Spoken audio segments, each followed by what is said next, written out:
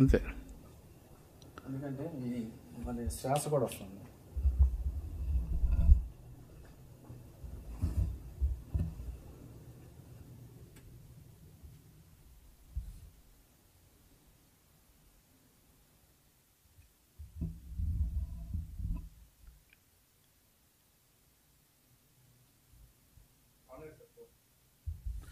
అందరికీ నమస్కారం.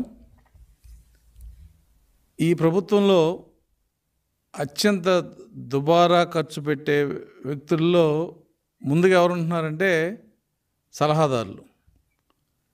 దాదాపు ఈ ప్రభుత్వంలో నలభై ఐదు నుంచి యాభై మంది సలహాదారులు. అందుట్లో ఒక ఇరవై మంది దాకా క్యాబినెట్ హోదా. అసలు ఎవరేం చేస్తున్నారో తెలియని పరిస్థితి. దీని మీద తెలుగుదేశం పదే పదే చెప్పినప్పటికీ కూడా ప్రభుత్వం లెక్క చేయలే మీ ప్రభుత్వంలో కన్సల్టెంట్ పెట్టుకున్నారు కదా మీ ప్రభుత్వంలో సలహాదారులు ఉన్నారు కదా. అంటే ప్రభుత్వానికి సలహాదారులు అవసరమే కన్సల్టెంట్ అవసరమే. అయితే ఎక్కడ అవసరం? ఆ సబ్జెక్ట్స్ ఏవవుతున్నాయో అందులో ఎక్స్పర్ట్ని పెట్టుకుంటారు. గతంలో రంగరాజన్ గారు ఉన్నారు ఆయన ప్లానింగ్ కమిషన్కి ఉన్నారు ఫైనాన్షియల్ అడ్వైజర్గా ఉంటారు.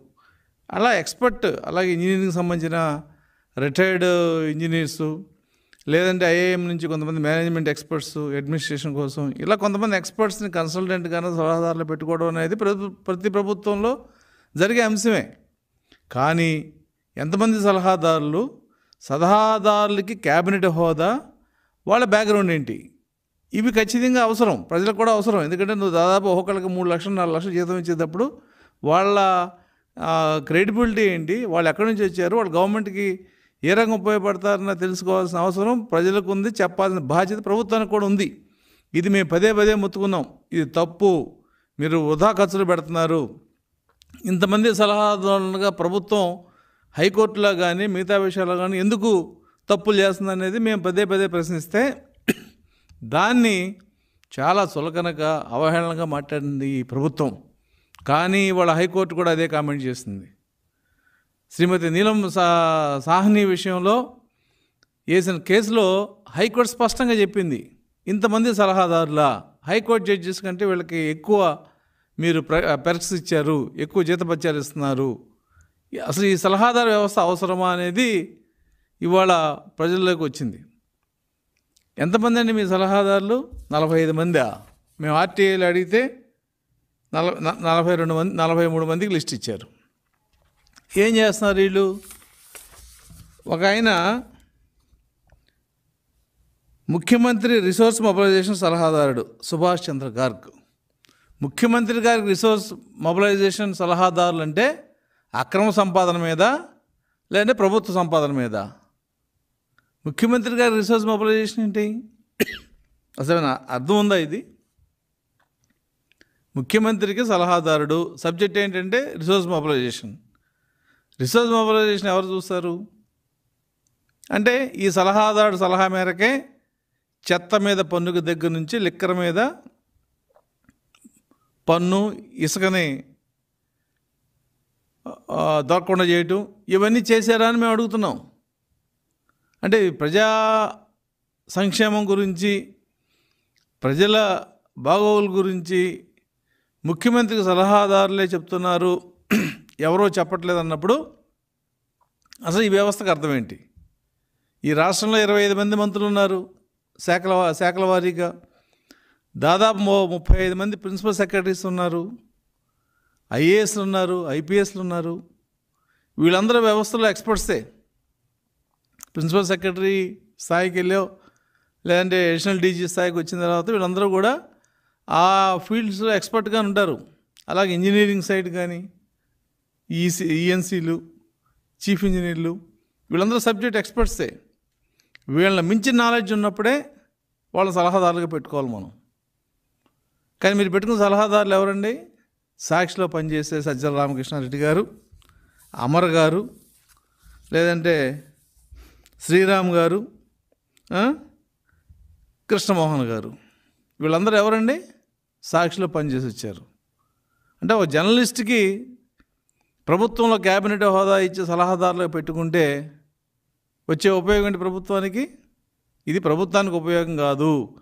కేవలం జగన్ ఆయన అనునాయులకి అనుమాయులకి దాని ఫాలోయర్స్కి గతంలో ఆయనతో పాటు ఎవరైతే రాజకీయంగా ఆయనతో ఉన్నారో వాళ్ళందరూ కూడా కేబినెట్ హోదా ఇచ్చి సలహాదారుల ముసుగులో అపాయింట్ చేశారు.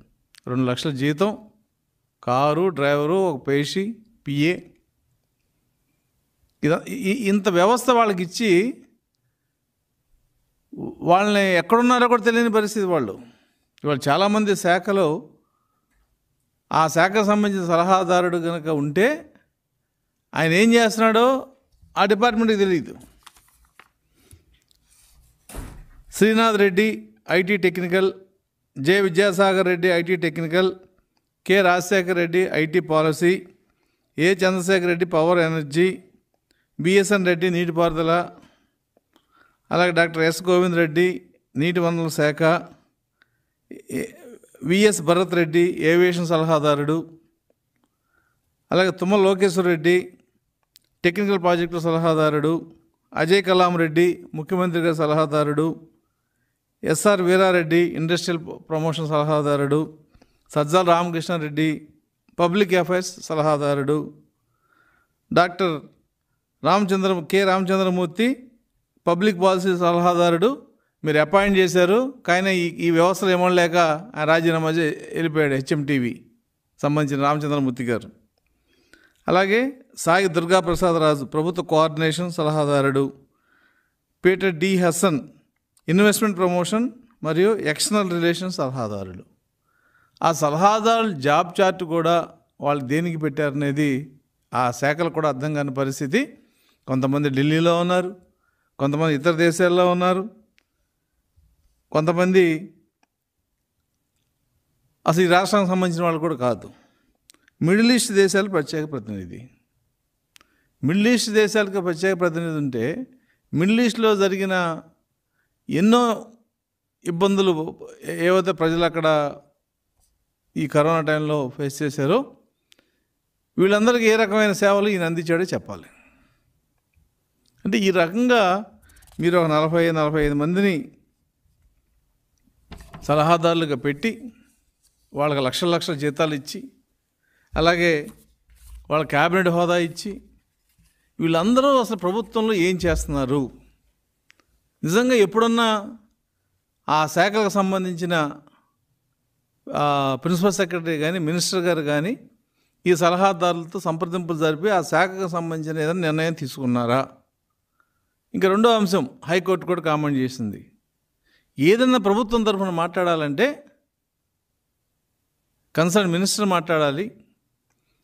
లేదు టెక్నికల్ అంశం అయితే ఆ సంబంధిత అధికారులు మ్యాక్సిమం ప్రిన్సిపల్ సెక్రటరీస్ ఎవరో మాట్లాడతారు. కానీ మన దౌర్భాగ్యం ఏంటంటే అన్నిటికీ ముఖ్యమంత్రి గారి సలహాదారులే మాట్లాడతారు. ఏ సమస్య వచ్చినా ఏ విషయమైనా సలహాదారులు మాట్లాడతారు. లేదు పార్టీ జనరల్ సెక్రటరీ గారు మాట్లాడతారు. ప్రభుత్వానికి సంబంధం లేదు. దురదృష్టం ఏంటంటే క్యాబినెట్ అంశాలు క్యాబినెట్కి సంబంధించిన ఒక మినిస్టర్ మాట్లాడతారు కాబట్టి ఆ మినిస్టర్ మాట్లాడే అవకాశం అక్కడ ఒక్కచోట వస్తుంది కానీ లేదు తెలుగుదేశం పార్టీ నాయకులను బూతులు తిట్టించాలంటే బూతుల మంత్రి గారిని ఇట్లా వాడుకుంటున్నారు తప్ప మంత్రుల్ని ఓ సబ్జెక్ట్ మీద. మైన్స్ ఉన్నాయి. ఎవరు మాట్లాడాలి? మైన్స్ శాఖ మంత్రి మాట్లాడాలి కానీ సెక్రటరీ మాట్లాడతాడు. లేదు ప్రభుత్వ విధానాలు ఉన్నాయి ఎవరు మాట్లాడాలి? ముఖ్యమంత్రి మాట్లాడాలి లేదంటే సంబంధిత శాఖ మంత్రి మాట్లాడాలి. ఆయన మాట్లాడు మధ్యలో సంబంధం లేని సలహాదారులు మాట్లాడతారు. అంటే ప్రెస్లో మాట్లాడతాకి ఒక సలహాదారుడు ఆయన క్యాబినెట్ హోదా. సరే అదేదో ఒకళ్ళిద్దరిని పెట్టుకుంటే అది ఒక రకమైన అంశం. కానీ నలభై ఐదు మంది ఎక్కడున్నారు? వీళ్ళు ఎక్కడ కూర్చుంటున్నారు? ఏమేమి సలహాలు ఇస్తున్నారు అనేది మేము ఆర్టీ యాక్ట్ కింద అడిగితే ఇంతవరకు సమానం లేదు. ఈ నలభై ఐదు మంది సలహాదారులు ప్రభుత్వానికి ఎప్పుడెప్పుడు ఎటువంటి సలహాలు ఇచ్చారు? ఆ సలహాలను ప్రభుత్వం ఏమైనా పాటించిందా? అసలు వీళ్ళు ఎక్కడ కూర్చుంటున్నారు? ఏ ఏ శాఖకి వీళ్ళు అనుసంధానంగా పనిచేస్తున్న అంశం తెలుగుదేశం పార్టీ తరఫున ఆర్టీ యాక్ట్ కింద అడిగాం. దాని ఇంతవరకు సమాధానం లేదు. ఏదైతే మేము రాజకీయంగా మాట్లాడి ఈ వ్యవస్థ మంచిది కాదని చెప్పామో అదే వాళ్ళ హైకోర్టు కామెంట్ చేసింది. ప్రభుత్వం దీనికో సమాధానం చెప్పాలి. ఎందుకంటే నీలం సాహ్ని గారి కేసు చాలా విచిత్రమైన కేసు అది. ఆవిడ ప్రధాన కార్యదర్శిగా పనిచేశారు ఎక్స్టెన్షన్ ఇచ్చారు రిటైర్ అయిపోయారు మీరు ఒక అడ్వైజర్గా పెట్టుకున్నారు. వెంటనే ఆవిడ స్టేట్ ఎలక్షన్ కమిషన్గా ప్రభుత్వం నియమించింది. కాబట్టి ఆవిడకున్న అర్హత ఏంటి? లేదా ఆవిడకున్న ఒక రాజ్యాంగ పదవైన పోస్టులో రావటానికి ఏవైతే కొన్ని పారామీటర్స్ ఉన్నాయో ఆ పారామీటర్స్ని ప్రభుత్వం ఎందుకు పాటించలేదు? వీటన్నిటి మీద ఒక వ్యక్తి కోర్టుకు వెళ్తే కోర్టులో ఈ అంశాలన్నీ వచ్చినాయి? మరి మీరు కోర్టుకి ఏం సమాధానం చెప్తారు? స్వయాన జడ్జి గారే కామెంట్ చేశారు. ఒక హైకోర్టుకి జడ్జికి లేని సదుపాయాలు సదుపాయాలు జీతబత్యాలు అన్నీ కూడా మీ సలహాదారులకు ఇస్తున్నారని. కాబట్టి ఈ ప్రభుత్వం మునిగిపోయే నావని బయటికి రక్షించడానికి ఒక క్యాప్టెన్ ఎంత ప్రయత్నం చేస్తాడో తెలుసు రక్షించలేమని. మునిగిపోతుంది తెలుసు. అని చెప్పి క్యాప్టెన్ కూర్చోటకు లేదు. చివరి దాకా అతను ప్రాణం పోయేదాకా ప్రయత్నించాల్సిందే. అలా ఈ వ్యవస్థని నాశనం చేయటానికి ఈ ఈ ప్రభుత్వం యొక్క అడ్మినిస్ట్రేషన్ మొత్తం చిత్రవత్ చేయటానికి లేదు ఆర్థిక వ్యవస్థను చిన్నాభిన్నం చేయటానికి ఈ సలహాదారుల వ్యవస్థ అనేది చక్కగా పనిచేస్తుంది. అంటే రిసోర్స్ మొబిలైజేషన్ సలహాదారుడు ఏమిస్తాడు? ఈ ఆర్థిక అభివృద్ధి ఎలా జరగాలి? ఆర్థికంగా కొత్త మార్గాలు ఏమున్నాయి? లేదు మనకి మంచి ఇన్కమ్ ఎలా వస్తుంది అనేది దాని మీద ఒక ఫైనాన్షియల్ ఎక్స్పర్ట్ అయితే సలహా ఇస్తాడు. కానీ మీరు చేసింది ఏంటి? ట్యాక్స్లు పెట్ పెంచారు. ఉచితంగా ఇచ్చే ఇసుకను తీసేశారు. వాళ్ళ మున్సిపల్ ట్యాక్స్లో చెత్త మీద కూడా స్లమ్లో అయితే నెలకు ముప్పై రూపాయలు. మామూలు ఇళ్ళకు అయితే నూట ఇరవై రూపాయలు వేశారు. దీని మీద సోషల్ మీడియాలో ఒక మంచి కామెంట్ కూడా పెట్టారు. చెత్తకి యాభై ఇళ్ళకి ఒక వాలంటీర్ని పెట్టారు కాబట్టి ఈ చెత్త మీద మీరు నూట ఇరవై రూపాయలు వసూలు చేస్తున్నారు కాబట్టి యాభై ఏళ్ళకి ఆరు వేల రూపాయలు ఇన్కమ్ వస్తుంది ఐదు వేల రూపాయలు వాలంటీర్కి ఇస్తే వెయ్యి రూపాయలు ప్రభుత్వానికి మిగులుతుందని చెప్పి అంటే చెత్త మీద పన్నుతో ఇప్పుడు ఒక వ్యవస్థను బతికించి ఏర్పాటు చేసిన ఈ సలహా ఇచ్చిన వ్యక్తుల మట్టికి ఖచ్చితంగా మనం గౌరవించాల్సిందే. ప్రభుత్వాలు నాశనం అవడానికి ఇటువంటి సలహాలు అవసరం. ఇసుక మరి ఏ సలహాదారు చెప్పాడో? తెలుగుదేశం ప్రభుత్వంలో ఇసుకలో కోట్లు సంపాదించారు కాబట్టి ఇసుక పాలసీ కొత్త పాలసీ తెచ్చి తెస్తామని చెప్పి పూర్తిగా ఆ వ్యవస్థను మొత్తం నాశనం చేసి వాళ్ళు ఇసుక బంగారం అయ్యే పరిస్థితి తీసుకొచ్చారు. మరి నిత్యావసర వస్తువులు భయంకరంగా పెరిగినాయి.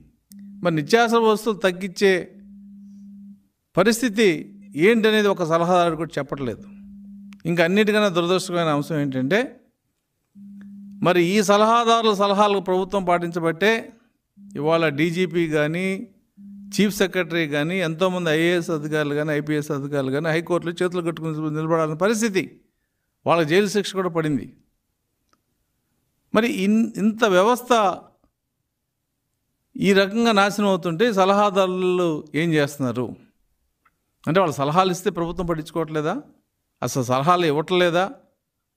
ఈ రెండు అంశాల మీద ప్రభుత్వం సమాధానం చెప్పాలి. అలాగే వాళ్ళ యొక్క క్రెడిబిలిటీ క్వాలిఫికేషన్ బ్యాక్గ్రౌండ్. ఏదన్నా ఇప్పుడు నీటి రంగానికి సంబంధించిన ఒక సలహాదారు పెడుతున్నామంటే ఆయన నీటి రంగంలో నిష్ణాతులు అయి ఉండాలా? మంచి అనుభవం ఉండాలి. ఇవన్నీ ఉండాలి. అలాగే ఫైనాన్స్ సంబంధించిన నాలెడ్జ్ ఉండాలి. ఫైనాన్షియల్ సంబంధించిన సలహాదారు ఉండాలంటే. ఏ క్వాలిఫికేషన్ లేనిది ఏంటి అంటే రాజకీయ సలహాదారులు ఆయనకేం క్వాలిఫికేషన్ అవసరంలా? మాట్లాడదాం వస్తే చాలా మైక్ ముందు. లేదంటే బూతులు తిడితే చాలు. కాబట్టి మీరు అపాయింట్ చేసుకున్న వాళ్ళలో టెక్నికల్ ఎక్స్పర్ట్స్ ఎంతమంది? నాన్ టెక్నికల్ ఎక్స్పర్ట్స్ ఎంతమంది? దాదాపు ఇరవై మందికి మీరు క్యాబినెట్ హోదా ఇచ్చారు. అంటే ఒక వ్యక్తికి క్యాబినెట్ హోదా ఇవ్వటం అంటే ఆ వ్యక్తి యొక్క కెపాసిటీ ఏముండాలి ఈ అంశాలన్నీ కూడా ఖచ్చితంగా రేపు అవసరమైతే ప్రజల్లో చర్చకు ఇప్పటికే వచ్చినాయి. ఇంకా మేము తీసుకెళ్తాం. ఈ సలహాదారుల యొక్క జాబ్ చార్టు వాళ్ళు అసలు ఎన్ని ఇచ్చారు ఏంటనేది కూడా తెలుగుదేశం పార్టీ తరఫున ఆర్టీ యాక్ట్ కింద అడిగాం. దాన్నే మేము వదిలిపెట్టే ప్రసక్తి లేదు. ఖచ్చితంగా ప్రభుత్వం కనుక ఇవ్వకపోతే దాని మీద అప్పీల్కి వెళ్ళాను సరే ఆ సమాచారం తీసుకుంటాం. ఈ సలహాదారు వ్యవస్థ అనేది ఇంకా పెరిగి ప్రజలకు భారం కాకుండా ఎక్కడో దీనికి ఒక చెక్ పాయింట్ పడాలనేది మా ఆలోచన. ఇవాళ హైకోర్టు కామెంట్స్ కూడా దానికి ఉపయోగపడే విధంగా ఉన్నాయి. కాబట్టి ముఖ్యమంత్రి గారు మీరు ఇప్పటికైనా సరే ఈ సలహాదారుల వ్యవస్థని వదిలించుకోకపోతే ఈ సలహాదారుల వ్యవస్థను తగ్గించుకోకపోతే భవిష్యత్తులో జరిగే ఏ పరిణామం అయినా సరే దానికి ప్రభుత్వం బాధ్యత వహించాలి. తెలుగుదేశం పార్టీ అయితే ఈ వ్యవస్థ ఇలా దిగజారిపోతుంటే చూస్తే ఊరుకునే పరిస్థితి లేదు. ఖచ్చితంగా దీని మీద చట్టపరమైన పోరాటం మేము చేస్తామని చెప్పి ప్రజలకు తెలియజేస్తూ ఇప్పటికైనా సరే కొంతమంది ఏదైతే విఘ్నులు ఉన్నారు మేధావులు ఉన్నారు. హైకోర్టు కూడా తప్పట్టిన తర్వాత ఆ వ్యవస్థలోకి వెళ్ళడానికి కొంతమంది చాలా ఉత్సాహంగా ఉన్నారు. కాబట్టి మీరు ఆ వ్యవస్థలోకి వెళ్ళేటప్పుడు ఆ వ్యవస్థ మనం నిజంగా ఉపయోగపడుతామా లేదనే అంశాన్ని కూడా చెక్ చేసుకోవాల్సిన బాధ్యత ఆ మేధావుల మీద కూడా ఉంది ఆ వ్యక్తుల మీద ఉంటుందనే విషయాన్ని తెలియజేస్తూ ఏదైనా కూడా ఈ సలహాదారుల వ్యవస్థ అనేది మితంగా ఉండాలి అంటే వ్యవస్థ మితంగా ఉండాలి వ్యవస్థలో ఉన్న వ్యక్తులకు కూడా పరిమితులు ఉండాలని చెప్పి మేము డిమాండ్ చేస్తున్నాం.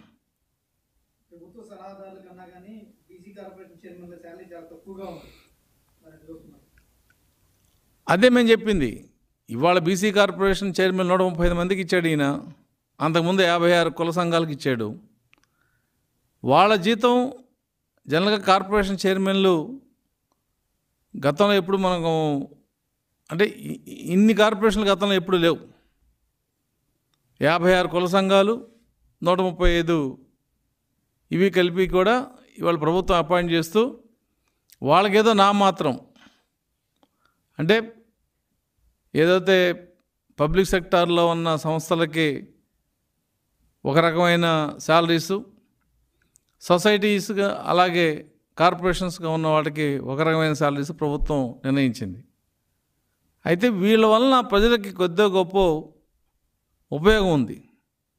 ఒక బీసీ కార్పొరేషన్లో నిజంగా పనిచేస్తే ప్రభుత్వం బడ్జెట్ ఇస్తే బీసీలకి ఎంతో మేలు జరుగుతుంది. అలాగే కొన్ని చిన్న చిన్న కార్పొరేషన్స్ ఉన్నాయి లిడ్ క్యాప్ లాంటివి. ఎంతోమంది జీవనోపాధి కలి కల్పించింది గతంలో. అలాగే ఇరిగేషన్ ఇరిగేషన్ డెవలప్మెంట్ కార్పొరేషన్ కానీ అలాగే కొన్ని ప్రత్యేకమైన కార్పొరేషన్లు ఆ ప్రాంతాల వరకే పరిమితమైన కార్పొరేషన్లు చాలా వరకు అక్కడ సోషల్ డెవలప్మెంట్కి ఉపయోగపడ్డాయి. వాళ్ళకి ఇచ్చే జీతాలతో పోల్చుకుంటే వాళ్ళు చేసే సర్వీసెస్ చాలా తక్కువ. కానీ వాళ్ళు ఈ సలహాదారులకి పదిహేడు మందికి పద్దెనిమిది మంది క్యాబినెట్ హోదా ఇచ్చారు. అంటే క్యాబినెట్ హోదా అంటే ఏంటి? ఎంత అవుతుందో మనిషికి ఖర్చు వాళ్ళకి సెక్యూరిటీ వెహికల్ పేషి జీతం హౌస్ రెంటు. ఇంత ఖర్చు పెడితే వాళ్ళు ఏం చేస్తున్నారు అనేది మరి వాళ్ళ మంత్రివర్గంలో ఉన్న సీనియర్ మంత్రులు అలాగే సీనియర్ అధికారులు కూడా దీని మీద ఆలోచించాలి. ప్రభుత్వానికి పవర్స్ ఉండొచ్చు. Power is different from absolute power ఒక శాఖ ప్రిన్సిపల్ సెక్రటరీ లేదంటే ఒక ఒక శాఖకి ఒక హెడ్ ఆఫ్ ద డిపార్ట్మెంట్కి రావాలంటే ఒక ఐఏఎస్ అధికారికి పదిహేను సంవత్సరాలు పడుతుంది. కొంతమంది నిష్ణాతులు ఉంటారు. ఇవాళ మీరు వి భాస్కర్ని ఫైనాన్స్ అడ్వైజర్గా పెట్టుకున్నారు. ఆయన వరల్డ్ బ్యాంకులో కూడా పనిచేసి వచ్చాడు. ఆయన చెప్పాడా ఇలా రాష్ట్రాన్ని అప్పులు తిప్పలు చేయమని. ఆయన సలహా మీరు పాటించారా? కాబట్టి అడ్వైజర్స్ అనేది నిజంగా రాష్ట్రానికి ఉపయోగపడేటట్టు ఉండాలి. అటువంటి వ్యక్తిని తీసుకోవాలి తప్ప రాజకీయంగా నా వెనక తిరిగారు కాబట్టి వాళ్ళందరినీ అడ్వైజర్స్గా పెడతాం. మా పత్రికలో పనిచేశారు కాబట్టి వాళ్ళందరినీ అడ్వైస్గా పెడతాం. వాళ్ళకి హోదాలు ఒకటి ఇదంతా కూడా ఒక దారుణమైన పరిస్థితికి తీసుకెళ్ళే తప్ప ఏ రకంగా ఉపయోగపడదు అనేది వైసీపీలో నాయకత్వం కూడా గ్రహించాలి. కార్పొరేషన్స్కి చైర్మన్గానో లేదంటే కార్పొరేషన్లో ఒక పదవి రావాలంటే వాళ్ళు రాజకీయంగా ఎంతో కష్టపడితే కానీ రాదు. కానీ కేవలం ముఖ్యమంత్రికి దగ్గరగా ఉన్న వ్యక్తులు అడ్వైజర్స్ వచ్చినందువల్ల ఈ కార్పొరేషన్ చైర్మన్లు కానీ లేదంటే వీటిలో ఉన్న వ్యక్తులకి యొక్క ప్రాబల్యం తగ్గి ఈ కార్పొరేషన్ అనేది కేవలం కంటిదుడుగా మారే ప్ర- ప్రమాదం కూడా భవిష్యత్తులో ఉంటుందనే విషయం ఇప్పటికైనా జగన్మోహన్ రెడ్డిని గుడ్డిగానే వెళ్తున్న వాళ్ళు గమనించాలనేది గమనిస్తారని కూడా మేము ఆశిస్తున్నాం ప్రభుత్వ ఉద్యోగులకు సకాలంలో శాలరీస్ అందట్లేదు కానీ అడ్వైజర్లు కూడా పడతా ఉన్నాయి ప్రభుత్వ ఉద్యోగులు అంటే నాలుగు లక్షల మంది ఉద్యోగస్తులు అంతేమంది పెన్షనర్స్. వీళ్ళు కాకుండా మరి జగన్ గారు చెప్పినట్టు ఆరు లక్షల మంది కొత్త ఉద్యోగాలు ఇచ్చామన్నాడు ఇవాళ రాష్ట్ర ప్రభుత్వం యొక్క శాలరీ బిల్ అంటే శాలరీస్ పెన్షన్స్ ఇవన్నీ కలిపితే ఐదు వేల రెండు వందల కోట్లు దాదాపు ఉందనేది ఆర్థిక శాఖ చెప్తుంది. అది ప్రతి నెల ఫిక్స్డ్ కింద అమౌంట్ ఉండదు ఒక వంద నూట యాభై కోట్లు అటు ఇటు మారుతూ ఉంటుంది. అంటే రాష్ట్ర ప్రభుత్వ ఉద్యోగులతో పోల్చుకుంటే ఈ సలహాదారులు సలహాదారుల యొక్క శాలరీ అంటే అర్థమెటిక్స్గా చాలా తక్కువ ఉండొచ్చు. ఇది ఐదు వేల కోట్లు ఉంటే ఇది నలభై మంది కలిపి నలభై నాలుగు కోటి అరవై లక్షలు ఉండొచ్చు. కానీ అది పూర్తిగా వృధా ఖర్చు.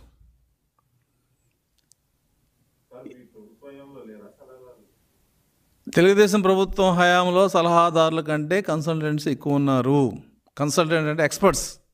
ఐఐఎం నుంచో ఐఐటి నుంచో ఏదైనా ఒక అంశం మీద ఆ ఫీల్డ్లో ఎక్స్పర్ట్స్ని తీసుకొచ్చి ఆ డిపార్ట్మెంట్కి అటాచ్ చేశారు. కన్సల్టెంట్గా. కన్సల్టెంట్గా అపాయింట్ చేయాలంటే ఫీల్డ్ ఎక్స్పర్ట్స్ ఉండాలి. కానీ advisors field expert field experience అవసరం లేదు. నా ఇష్టం వచ్చిన అడ్వైజర్ పెట్టుకుంటాం. కాబట్టి ప్రతి ప్రభుత్వంలోనూ సలహాదారులు కన్సల్టెంట్స్ ఉండటం అనేది సహజం. కానీ దానికి ఒక పరిమితి ఉంది. దానికి కొన్ని రూ- రూల్స్ అండ్ రెగ్యులేషన్స్ కూడా ప్రభుత్వం సెల్ఫ్ ఇంపోజ్డ్ రూల్స్ ఉంటాయి ఇవి. దానికి ఏమి సర్వీస్ రూల్స్ లాగా ఉండవు దానికి. వాళ్ళు ఇష్టం వచ్చిన వాళ్ళు అపాయింట్ చేసుకోవచ్చు. దాన్ని ఎవరు కాదండు కానీ ఇరిగేషన్కి ఇంజనీరింగ్ చదవని ఒక కామర్స్ గార్డెన్ అపాయింట్ చేసి ఎలా ఉంటుందో ఇది కూడా అలా ఉంటుంది. ఇప్పుడు ఈ ప్రభుత్వం జరుగుతుంది అదే. ఏ సలహాదారు దేనికి ఏం చేస్తున్నాడో ఎక్కడ పని చేస్తున్నాడో తెలియని పరిస్థితుల్లో సలహాదారు వ్యవస్థ ఉంది. కాబట్టి అటువంటి దుబారా ఖర్చు అటువంటి నిరుపయోగమైన వ్యవస్థ అనవసరమైనది మేము చెప్తున్నాం. కాబట్టి శాలరీస్ ఎంప్లాయీస్కి ఇవ్వటం లేట్ అవటంలో ప్రభుత్వం యొక్క ఆర్థిక విధానాలు అనేది ప్రధానమైన కారణం. ఎందుకంటే సంవత్సరానికి నెలకి ఐదు కోట్లు మొదటి తారీఖున ఇవ్వాల్సిందే. ఇవాళ కొత్త పాలసీ ప్రకారం ఒకటో తారీఖు ఇస్తారు. అదే ఒకటో తారీఖున మనకి సోషల్ పెన్షన్స్ ఇస్తున్నారు అది పదహారు వందల కోట్లు. అంటే ఒకటో తారీఖు జీతం ఇవ్వాలంటే పెన్షన్స్తో పాటు వృద్ధుల పెన్షన్ వృద్ధాప్య పెన్షన్తో పాటు ప్రభుత్వం చేతిలో ఆరు వేల ఐదు వందల కోట్లు ఉండాలి. ఉంటే ఒకటో తారీఖు మొత్తం పెన్షన్స్ జీతాలు సోషల్ పెన్షన్స్ అన్నీ ఇస్తాయి. కానీ ఇవాళ ఈ ప్రభుత్వం ఆ పరిస్థితి లేదు. దానికి సమాధానం ప్రభుత్వమే చెప్పాలి టీడీపీ ఏమైనా క్యాబినెట్ వాళ్ళు ఎంతమందికి ఇచ్చారండి చాలా తక్కువ అది మరి. నాకు తెలిసి ఆ పరకాల శాశ్వత గారికి ఒక్కడికే ఇచ్చినట్టున్నారు. పరకాల ప్రభాకర్ గారికి. ఇంకెవరికి ఇవ్వలేదు. దానికి కూడా వైసీపీ వాళ్ళు చాలా కామెంట్ చేశారు. మరి వాళ్ళ మేము అడిగిన ఆర్టీఏ ప్రకారం దాదాపు పద్దెనిమిది మందికి క్యాబినెట్ హోదా ఇచ్చారు. సలహాదారులకి. అంటే క్యాబినెట్ హోదా అంటే ఏంటి? మిగతా మినిస్టర్లు వీళ్ళు ఒకటే. వాళ్ళు క్యాబినెట్కి వెళ్తారు వీళ్ళు క్యాబినెట్కి వెళ్ళరు. మిగతా అన్ని ప్రోటోకాల్ విషయంలో అందరూ ఒకటే.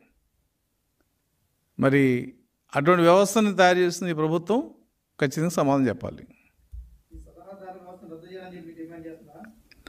సలహాదారు వ్యవస్థను రద్దు చేయమని మేము అడగట్లేదు. సలహాదారులుగా వచ్చిన వాళ్ళకి ఎలిజిబిలిటీ ఉండాలి.